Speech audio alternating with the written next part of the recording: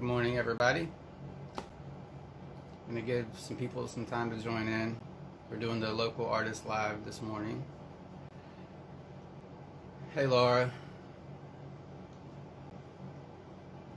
Got a few people in already. Copy on deck, of course. Is the sound good? Can everyone hear me pretty well?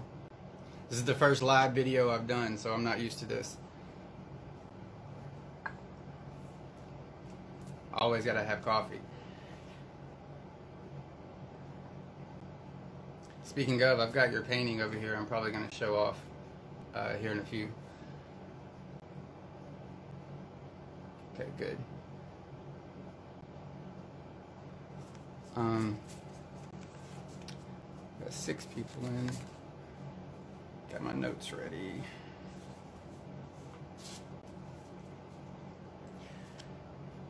Oh man.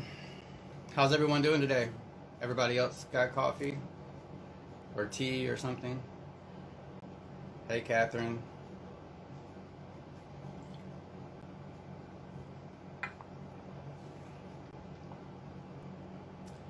Yeah. Just let me know when you're ready and it'll be here. Laura has bought one of my original pieces, one of the coffee paintings I did, so she's got to come pick it up.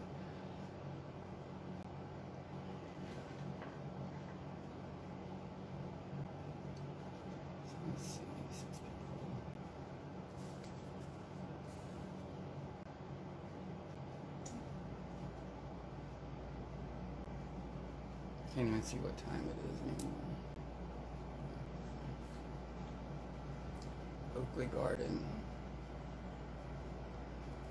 Hopefully we'll get a mix of people. I know a lot of the artists around Montgomery and surrounding areas and people at the museum, so I'm sure we'll have a good mix. Thank you. It was the shirt was perfect for today because I mentioned the Mona Lisa before, but um yeah, my buddy Hobby makes them. He's actually from Montgomery. Hobby uh, I can't remember his last name now. But um yeah, he made the shirt and gave me one a few years ago, so it's one of my favorite ones. But it was perfect for the interview.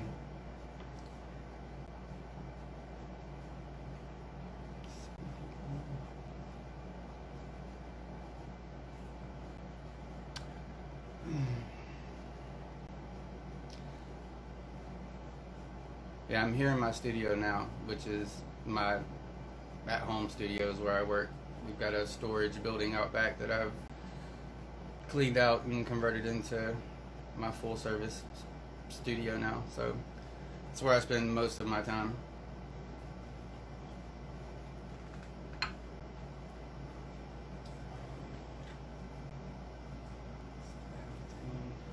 I'm going to show y'all some of the supplies and stuff I use. Let a few more people get in, maybe get to 10, we're at 7. That sound good to you, Laura? Get to 10 people and start.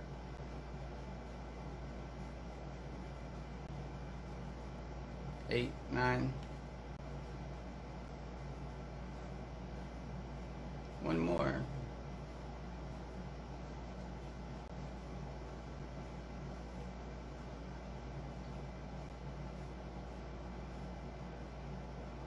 Cool.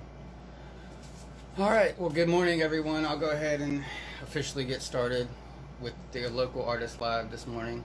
Um, my name is Pacrates. For those who don't know me, uh, Pacrates comes from it was inspired by Tupac and Socrates. Tupac Shakur, the famous musician and actor, hip hop artist, but uh, and of course everybody knows who Socrates is, hopefully. But uh, those two are big influences, not necessarily in my artwork, but just in life in general, and uh, through what they stood for and believed in, and what they represent to our society and history and things like that. So it started as a pen name. Um, I was doing a lot of writing for poetry and putting thoughts and ideas together through words and writing, and it started as a pen name for that.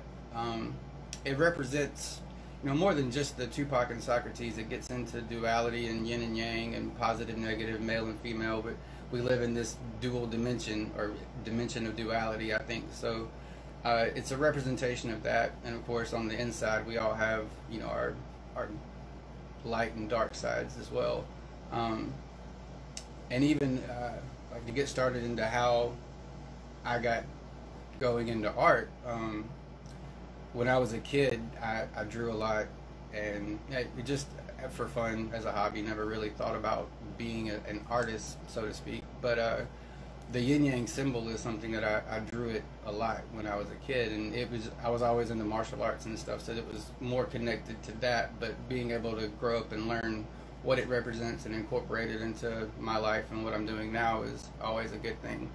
Um, let me get to some of these comments.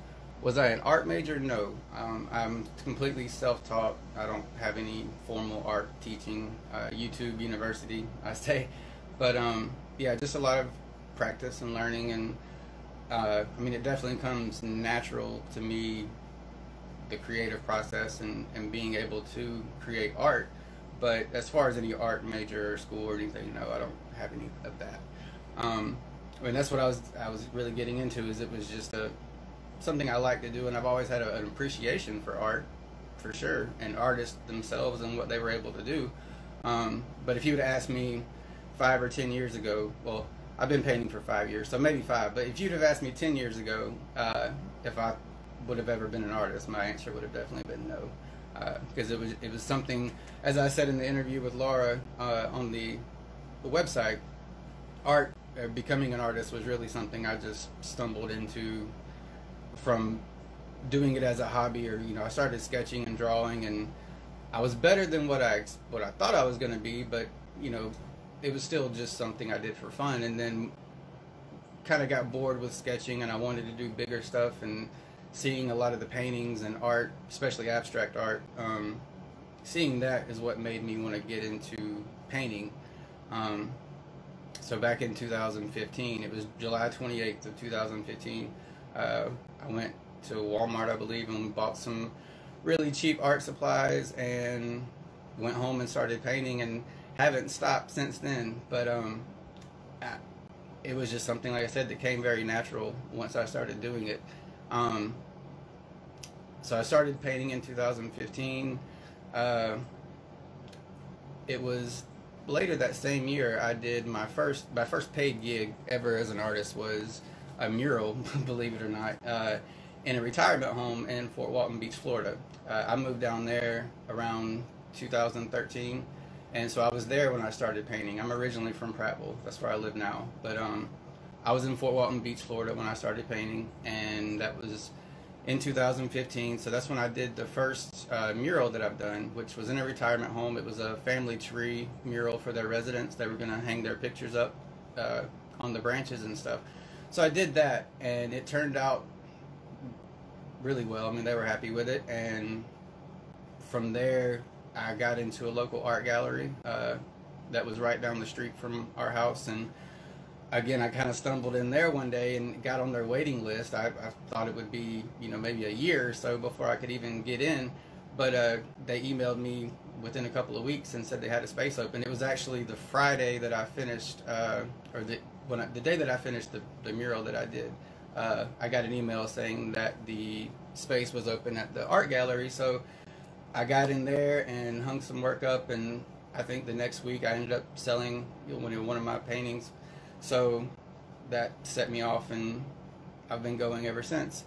Um, the art gallery that I was in in Fort Walton Beach is called HH Arts. It's a it's a local gallery, and they've got a lot of different work. I was one of the youngest ones there, um, both as an artist and as my age. But um, it was a I learned a lot from being there, and the owners were great. I got to do a, a mural, which was the one that was featured on the website. The Be the Change mural came from the quote, uh, Be the change you wish to see in the world by Gandhi. And so I did that on their building. They had like uh, eight panels on the side of their building. So there were seven or eight artists that volunteered to do the murals uh, there. And it's, it's still there now. If you go down Beal Parkway in Fort Walton Beach, you'll see it. Um, so that was a good learning experience just from being around other artists and being able to get my work out there and seen by other people. Um, I did a couple of other displays there in Fort Walton, the public library, for a month.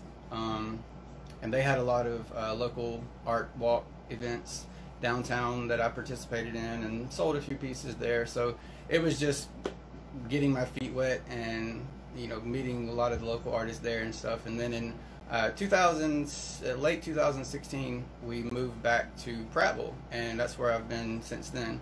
Um, when I moved back, I I didn't know anybody in the art community in Montgomery. Um, none of my friends were artists or anything like that. So I really I was kind of worried that I wasn't going to be able to continue doing it.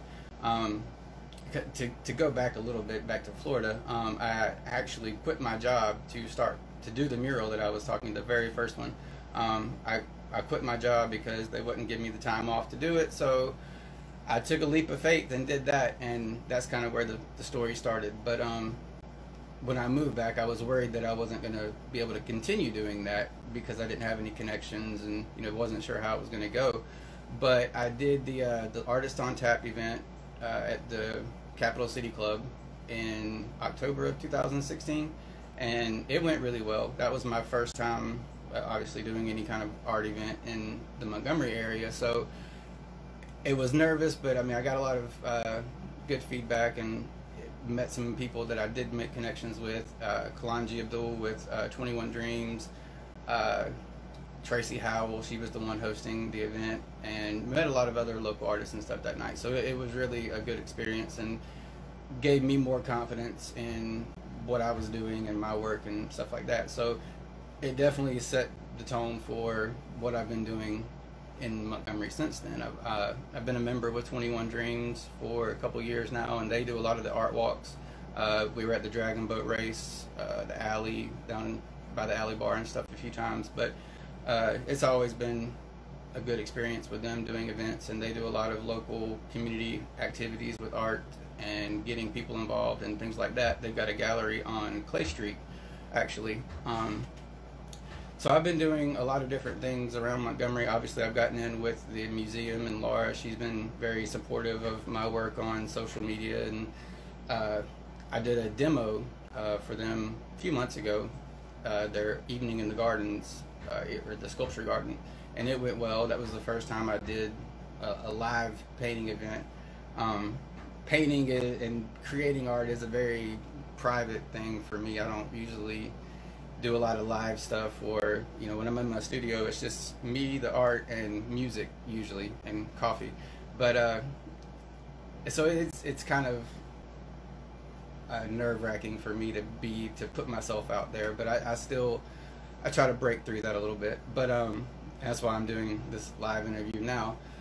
But uh to get into some of the work that i do um i started out working in acrylics. It was just purely abstract. I mean, I, I could draw, but I was still, I didn't have the technical know-how with paint to really create what I wanted. And so I started just doing abstract and getting a feel for colors and how paint worked and things like that. And from there, got into more uh, realism and portrait work, stuff like that. Um, so I, I going back to the, the duality with Pacrates and, and what it represents, I, it, it does reflect in my work because I go from one extreme to the other. I, I have a lot of purely abstract work with just colors and textures and things, and then I've got more realistic, detailed portraits and uh, eyes. I paint a lot of eyes and things like that. I've got one over here that I'm going to show. But um, so yeah, I do. I, being self-taught, not fitting into one box of art and having one style where all of my paintings kind of look the same. I know a lot of artists have that about their work, but that's really not something that I do because I get inspired by so many things and you know when I get bored or burn out with abstract I can kind of shift gears to doing more you know getting better at drawing and doing learning things with that and then when I get burned out on that, I get to go back to abstract and throw paint around and you know get more creative with it. Uh, I do a lot of collage work. I've got I've learned different mediums. I, I've started with acrylics, but I've gotten into oils uh, using cold wax medium, which is a, a texture medium that you add to oils, and I do a lot of abstract work with that. So I just I bounce around from different things and you know learning one thing from one technique will help with something else. So it, it's all connected, as Da Vinci said. Uh, everything's connected. So I, I do believe that. Um, I've got. I was gonna show. I don't want to spend the whole time talking, but um, I've got like some of my original drawings I still have that I did sketching back in 2015. Um, lions are a big, big theme in my work, but I've got some of those, and I'm actually working on. I put it on Facebook and social media the other day, yesterday, but I've got a big Tupac piece that I'm working on there. Um, I'm gonna flip the camera real quick, and you can see my other workstation over here. So I use my oils, and I've actually been doing, uh, well, learning and experimenting with uh, clay, doing some sculptures and stuff. That's kind of my next venture that I want to get into. But I use oils, and that's my little workstation over there. I've got some work out that I was going to show. Um, those are some abstract acrylic mixed media pieces. I use, and that's an oil painting. Um, but yeah, that's my other little workstation over there. But I don't want to get off track. Let me make sure. Can somebody give me the time? What time is it? My clock is hidden.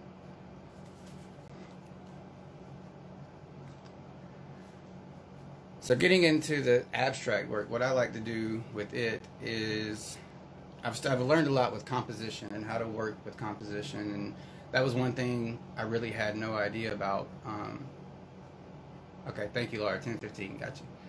Uh, and it really it makes a difference, especially with abstract work. I've learned that you know good and bad abstract work can really make a difference between composition and colors and how they interact with each other and stuff. So it, there's a whole science to art. I feel like that, especially when you get into abstract, because people look at it and you know tend to feel like anybody can do that. And while that is very true, uh, I do feel like there's you know a science to it and an art within itself of creating good abstract art. It's not just smearing some paint on the canvas and making some lines and calling it a day. Uh, it, there's a lot of emotion that goes into it, and you get mad and get happy, and it go back and forth. So it, it all comes out uh, in the art, I think, and that's what really draws me to abstract is you, you I couldn't recreate the same paintings I've done again just because it wouldn't be the same movements and timing and everything coming together the same way to create the same picture or image and it, it's just it's a moment in time captured on canvas is a good way of putting it I feel like but um I, it brings out a lot of expression because I've learned using I use a lot of charcoal and uh, color pencils, pastels, things like that. To you know, mark making is one thing I've learned a lot about. Um, I use stencils to create patterns and things like that. So it's just uh, putting all that together to create these compositions and and something that triggers the eye or the mind in a in a subconscious kind of way. You know, what one person hates, another person might love, and vice versa. And I, I've seen it firsthand numerous times where you never know what someone someone is going to connect with. Um, I've done pieces that you know were okay to me, and I post a picture of them on Facebook or something, and someone's like, "Oh, that's your best painting ever. That's my favorite one." Um, and, and, I've posted stuff that I thought was my best that you know didn't really get a reaction or not the reaction I would think it would. So, yeah, it, it's it's uh, it's always fun to see what people connect with and creating something from your mind that you know doesn't exist anywhere else in the universe is is pretty powerful in itself. So um, it's fun. Um, I always I, it's what I always say. I'm an abstract artist. I feel like an abstract artist because even with my realistic stuff, um, you know, I still incorporate some of my abstract techniques and stuff like that. Like even with the Tupac piece, I'll show you. Um, you know you know what it is and it, it does have a realistic a realistic effect but I've still incorporated a lot of the color and uh, I've learned color value that's another thing um, you know using light and dark colors to create shadow effect and you know it's not always just black for shadows and white for light that kind of thing mixing colors and that's a whole other science in, in mixing colors with oils and acrylics and stuff. So there's a lot to learn, and, and you're never finished. I'm there's still so much I want to do and learn in other art forms, and even with painting itself. And so yeah, it's an ongoing process for sure. Um, I know I've kind of gotten off track, Laura. I'm sorry. My notes are just out the window. But uh, does anybody have any questions so far? Anything anybody wants to say? I get to talking and just forget where I'm at sometimes. Um, so I'll give a minute to for anybody to ask any questions they have so far. I'm not done talking, but take a little coffee break.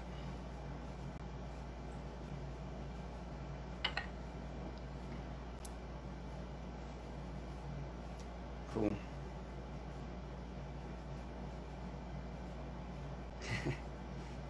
yeah, spell quote. I like that. Yeah, you can keep that. Thank you, Laura. Um, yeah, I'll show you some more. We'll do that real quick. I'm gonna take you off the camera mount here. So yeah, there's pot. You can see it better. It's a 36 by 48 piece. I like big stuff. I don't really paint small unless I have to. Um, so most of the stuff I have is big. So there's Einstein. Um, he's one. I did that portrait last year, uh, but he's definitely one of my favorites and one of the bigger ones.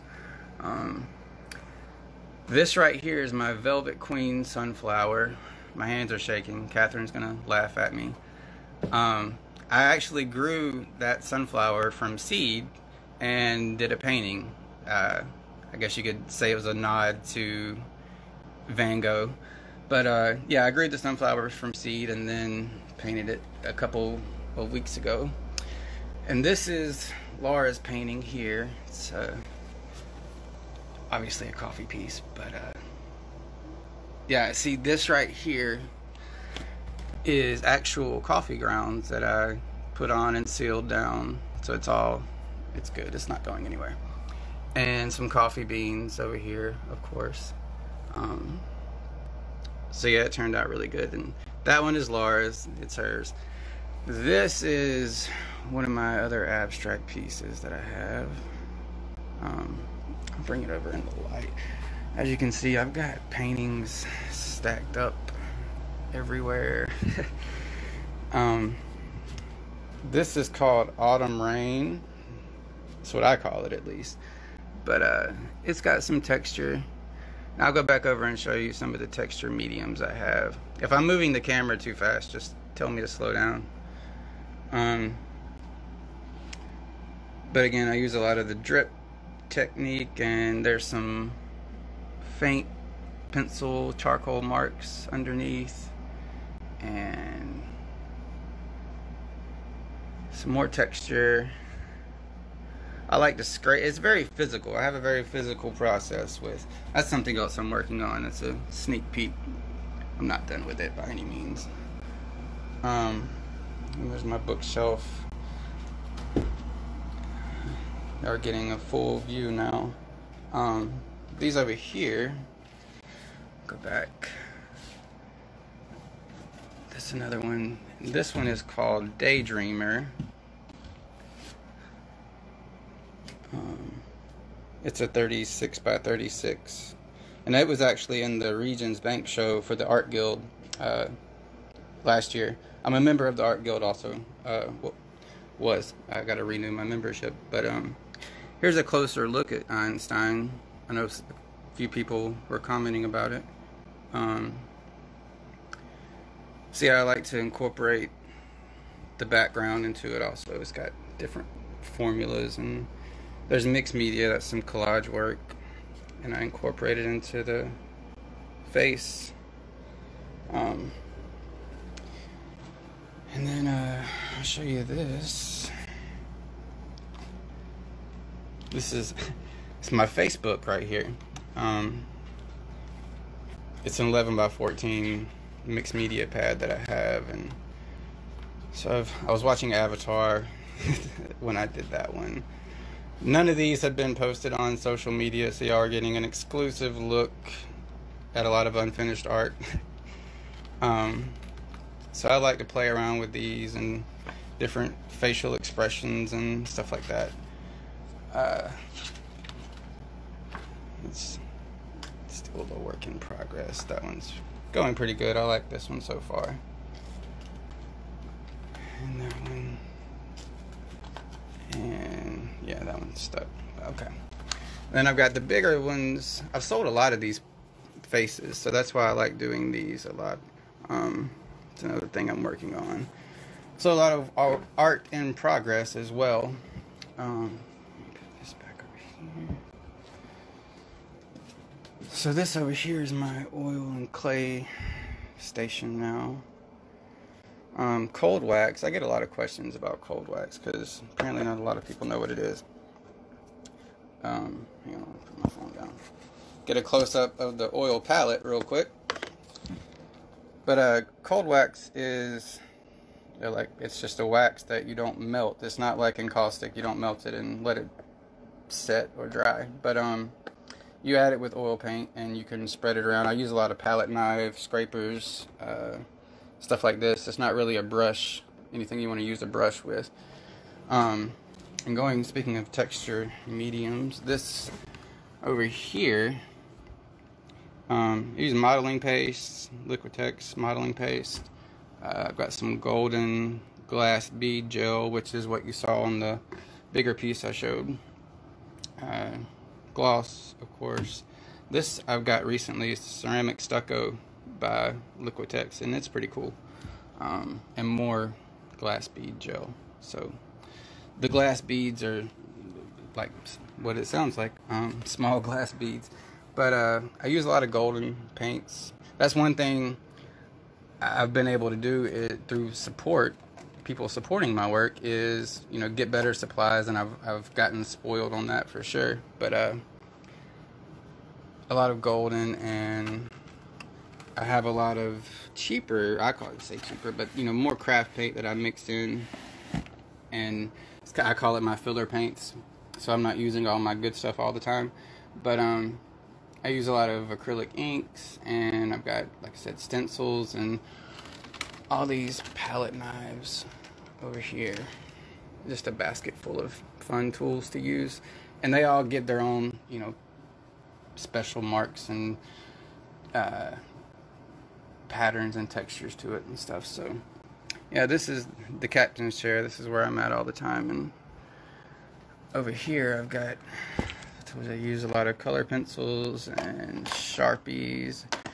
And those are some pastels and other pencils and stuff I've got. So, just a, got crayons, and it's a one stop shop. I mean, I, I've accumulated a lot of art supplies. I don't think I'll be running out anytime soon. But, but um, it just keeps it. There's always something new to use, and oh, I'm sorry, I was covering the thing with my finger. um, I'm back. So yeah, I just I'm always trying something different and seeing where the art takes me. I don't really take the art anywhere; it takes me places. So yeah, Catherine, I see you. Um, I've got your painting waiting. So, any questions from the audience? Yes, Laura, thank you. Make me be quiet. Is there a time? What time is it? My hands?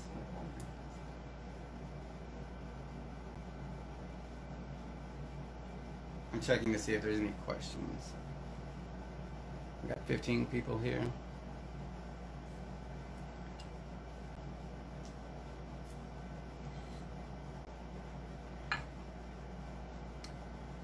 Yes, she does. I can answer that for you, Henry. She does. 1027, okay. Where can we purchase your art? Um, I, yeah, I need to plug my in my social media. Um, I'm on Facebook as Pacrates. You, if you there's not another one, so you should be able to type it in and find me. Um, I have a personal page and an artist page, and then on Instagram here, it's underscore lowercase Pacrates underscore. Um, there should be a link maybe on the museum page also where you can get to my page. Um, but if you message me or email me or anything, I can give you purchasing info.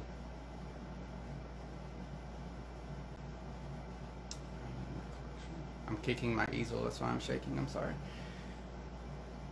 What's the most emotional painting you've painted? Oh, um,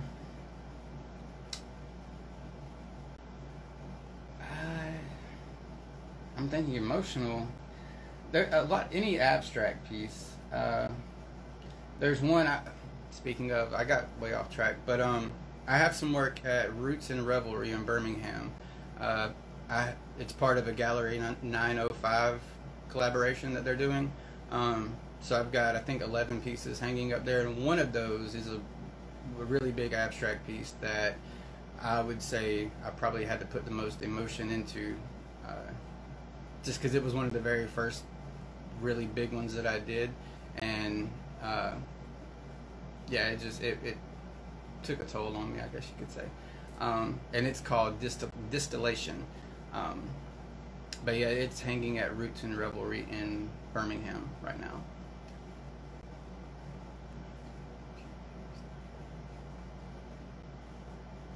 Thank you to everyone who came and checked this out, by the way. Um, I hope you got some insight into my art and what it's all about. See if I mentioned or I missed anything. And you can also go to the museum's website because there's the interview questions. I didn't even really get into that, but um, I, all of my answers are on there. I, tips for new artists and things like that. Uh, so you can check that out. This was great. Thank you. All right, Laura, I made it. I survived. So I appreciate everyone who came, and I'm gonna get back to creating some new work. And follow my page, and you'll be seeing. You can go through and see pretty much anything I've done. But if you are interested in any purchases, just uh, message me on here or on Facebook and let me know, and hopefully we can make a deal. All right, I'm gonna get back to it. I appreciate it, and I will see you guys next time, maybe. Thank you.